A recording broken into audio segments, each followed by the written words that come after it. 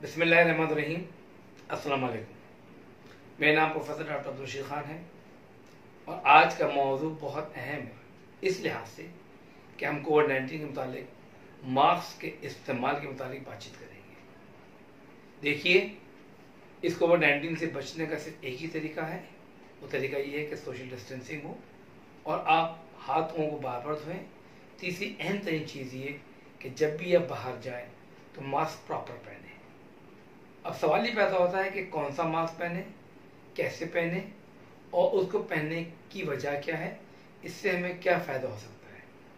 जो मैंने इस वक्त देखा है कि लोग जो है मास्क तो पहन रहे हैं, मगर वो मास्क जो है या तो ठोड़ी पर है या नाक के ऊपर है, या मास्क उल्टा पहना हुआ है। देखिए, ये इस किस्म का मज़ाक आपके लिए नुकसानदेह है, क्योंकि जो मास्क पहनने का मकसद है, वो मकसद फौत हो जाता है। तो पहले तो मैं आपको ये बताऊँगा कि मास्क होता क्या है? हम स्पेशली सर्जिकल मास्क की बात करेंगे, जो कि आम पब्लिक इस्तेमाल करेगी। जो एन नाइन्टी फाइव मास्क है, वो स्पेशली उन डॉक्टर्स के लिए या पैरामेडिकल स्टाफ के लिए, जो कोविड नाइन्टीन के पेशेंट को डील कर रहे हैं। आम पब्लिक के लिए एन नाइन्टी फाइव मास्क पहनना कोई ज़रूरी नहीं है। उनको प्रॉपरली सिर्फ़ सर्जिकल मास्क पहनना चाहिए, और अगर वो भी अवेलेबल नहीं है तो कम से कम जो कपड़े का मास्क घर में बना लें उसको इस्तेमाल करें। तो आज हम बताएँगे कि एन नाइन्टी फाइव क्या है सर्जिकल मास्क क्या है और कपड़े का मास्क क्या होता है। देखिए, ये एन नाइन्टी फाइव मास्क है, जो आमतौर पर डॉक्टर्स और पैरामेडिकल स्टाफ के लिए है, जो कोविड नाइन्टीन के पेशेंट को डील कर रहे हैं। पीपीई के साथ इस मास्क को पहनना लाजमी है, ताकि वो इन्फेक्शन से बच सके। बहुत आसान तरीका है, इसको ऐसा रखिए और इस तरह आपने इसको पहन लेना है। और जब आपने उतारना है तो आपके हाथ जो है, इस तरह से उसको उतार लीजिए। बैरूनी सरफेस को आपने टच नहीं करना है। लेकिन याद रखिए कि जब भी आप मास्क उतारें या मास्क पहने, इससे पहले हमेशा हाथों को सैनिटाइजर से ज़रूर साफ़ कीजिए। देखिए, ये सर्जिकल मास्क है। इसके दो कलर होते हैं। एक अंदरूनी कलर जो कि वाइट होता है, और एक बैरूनी कलर जो कि गहरा सब एक गहरा नीला हो सकता है। अगर आप मास्क को देखें मास्क के आगे और पीछे दोनों साइड के ऊपर आपको ले, लेयर्स नज़र आएँगी। ये तीन लेयर्स हैं। इन तीन लेयर्स को अगर आप देखेंगे इन तीनों लेयर का कोई मकसद होता है। अगर मास्क को मैं काट के दिखाऊँ तो इसके अंदर भी तीन लेयर होती हैं। देखिएगा जो तीन लेयर है वो किस तरह से होती है। देखिए इस मास्क को हमने काट के दिखाना है आपको। इसकी तीन लेयर होती हैं। एक लेयर अंदरूनी है जो सफ़ेद है बैरूनी लेयर जो है वो हरी है और इस बीच में एक लेयर है। ये असल चीज़ है जो कि वायरसेस को अंदर या बाहर जाने से रोकती है। देखिए, इसके ऊपर हमने पानी डाल रहे हैं। ये वाटर रेजिस्टेंस है। आपको बिल्कुल भी पानी कहीं पे भी गिरता हुआ या होता हुआ नज़र नहीं आएगा। ठीक है? ये अंदरूनी लेयर है। या में मैंने पानी डाला, आपको पानी नज़र आ रहा है जो कि बाहर नहीं, कहीं तरफ़ नहीं जा रहा। देखिए अब हम पानी बैलूनी लेयर पर डाल रहे हैं और यहाँ भी आप देखेंगे कि पानी जो है जज्ब नहीं हुआ और ये पानी बाहर का बाहर इधर से आसानी से गुजर रहा है। इसका मतलब ये हुआ कि बात कंफर्म हो गई कि जो वायरसेस हैं, वो ना अंदर से बाहर जाते हैं और ना बाहर से अंदर जा सकते हैं। देखिए ये मास्क है। इस मास्क के ऊपर ऊपर, एक साइड के ऊपर आपको एल्यूमिनियम फॉइल नज़र आती है पूरी और एक साइड पे नीचे नज़र आती है। आपने क्या करना है कि इसको इस तरीके से पहनना है। ठीक है? पहनने के बाद आपने इसको नीचे खींच देना है, ताकि पूरी आपकी ठोड़ी हो जाए।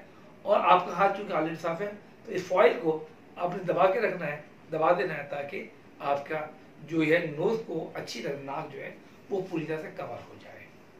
इसका मकसद ये होता है कि जरासीम ना बाहर जाए, ना अंदर आए। लेकिन आप मास्क जब पहनते हैं तो ये ध्यान रखिएगा कि आपका मुँह और आपकी नाक टोटली कवर होनी चाहिए। देखिए सर्जिकल मास्क आप जब भी घर से बाहर हों तो ये बिल्कुल आपके पास हवा पहना जाना चाहिए। आप उस वक्त तक इस्तेमाल कर सकते हैं, जब तक कि ये सोख ना हो जाए, यानी गीला ना हो जाए। अगर ये गीला हो जाता है या सोख हो जाता है तो ये इस मास्क को आप डिस्कार्ड कर सकते हैं। अगर आप डिस्कार्ड नहीं करना चाहते, आप इसको रीयूज करना चाहते हैं तो ये कुछ कंडीशन में रीयूज हो सकता है। वो मैं तरीका आपको बताऊँगा बाद में कि आप इसको किस तरह से रीयूज कर सकते हैं। लेकिन जब भी आप मास्क उतारेंगे या पहनेंगे तो अपने हाथों को सैनिटाइज करना ना भूलिए। हमेशा आप पहले सैनिटाइज करेंगे, ताकि किसी किस्म के जरासीम जो है, वो अपने, आपके मुँह पे या कहीं पे ना लग सके याद रखिएगा कि आपने हाथों को बाहर वाले बाँस के हिस्से पे नहीं लगाना है, ना उससे चेहरे पे लगाना है, ताकि किसी किस्म के जरासीम जो है, वो आप ट्रांसमिट ना कर सकें। अगर आपका मास्क सोख नहीं हुआ है तो आप इसको रीयूज कर सकते हैं। मतलब ये है कि आप अंदरूनी जो उसकी सतह है, उसको इस तरह से फोल्ड कर लीजिए। फोल्ड करने के बाद आप इसको एनवलप में डाल के रख दें। ठीक है, ये एनवलप में आपने रख के रख दिया? अब आप कभी भी जो दोबारा इस्तेमाल करना चाहते हैं तो फिर वही बात यह है कि आपने अब सैनिटाइजर को यूज़ करना है। ठीक है, ये आपने सैनिटाइजर किया। हाथों को सैनिटाइज करने के बाद आपने एनवलप लिया एनवलप लेने के बाद उसकी जो दीवार है, उसको आपने लिया, बगैर टच किए हुए आपने इसको दोबारा से इस तरीके से पहन लिया। ठीक है? वो बात देखिए फिर ये आपके हाथ सैनिटाइजर है, ये आपने ऐसा कर लिया और दोबारा अपने हाथ को आपने सैनिटाइज कर लिया। ताकि अगर कोई जरासीम आपके हाथ में लगे भी थे तो वो आपके बिल्कुल साफ़ हो अगर ये सोख नहीं हुआ है तो इसको इस्तेमाल इस तरह से करेंगे। अगर ये सोख हो गया है तो बेहतर ये है कि इसको आप डिस्कार्ड कर दें। हम जिस मुल्क में रहते हैं, क्योंकि तरक्की पजीर मुल्क है, और मास्क जो है, वो काफ़ी हमारे जो है, वो कम है, महँगे भी मिल रहे हैं, नहीं मिल पा रहे हैं। तो हम एक, ऐसा भी कर सकते हैं कि अपने मास्क को हम दोबारा स्टरलाइज भी कर सकते हैं। स्टरलाइज करने का तरीका बहुत आसान है। अगर आप एन नाइन्टी फाइव मास्क को रीस्टाइल करना चाहते हैं तो इसको ओवन में तकरीबन 30 मिनट के लिए आप छोड़ दीजिए। 75 डिग्री सेल्सियस के ऊपर के बाद ये स्टरलाइज होगा और अगर बस सर्जिकल मास्क है तो उसको आप गर्म पानी में सोख करके 10 मिनट सोख करके रख दीजिए। और जब ये सूख इसको आप लटका दीजिए सूख जाए तो उसको इस्तेमाल कर सकते हैं। मैं फिर भी ये कहूँगा कि अगर आप इसको डिस्कार्ड कर सकते हैं तो डिस्कार्ड कर दें। मजबूरी के तहत आप इसको रीस्टलाइज कर सकते हैं। ये अब रिकमेंडेशन हो गई है। अगर आप सर्जिकल मास्क या एन नाइन्टी फाइव मास्क नहीं खरीद सकते या इस्तेमाल नहीं कर सकते और जो कि एक दफ़ा के यूज़ में होते हैं, आप नहीं कर सकते तो आप घर का बना हुआ ये सिंपल कपड़े का मास्क इसको भी अंदर टिश्यू डाल के इसको आप इस्तेमाल कर लें। ये इस लिहाज से है कि वो लोग जो कि बार बार इस्तेमाल नहीं कर सकते। इसलिए कहा जाता है कि something is better than nothing मकसद ये है कि आपकी नाक और आपका मुँह जो है, वो बंद रहे। आप, अगर आपको खांसी है, कुछ है तो आप किसी दूसरे को कम से कम ट्रांसमिट ना कर सके। इसमें हंड्रेड परसेंट तो नहीं है, लेकिन बहरहाल थोड़ा बहुत उसमें रुकावट होगी। लेकिन मकसद हमारा कहने का क्या है कि सोशल डिस्टेंसिंग हाथों को धोना और मास्क पहनना एक लाजमी अमल है। अगर हम चाहते हैं कि कोविड नाइन्टीन से बच सकें, इसके स्प्रेड्स को बच सकें। बरह मेहरबानी कोविड नाइन्टीन को सीरियस लीजिए। ये अभी जाने वाला नहीं है। इसको इसी साथ हमने इसके साथ जीना है, इसी के साथ रहना है।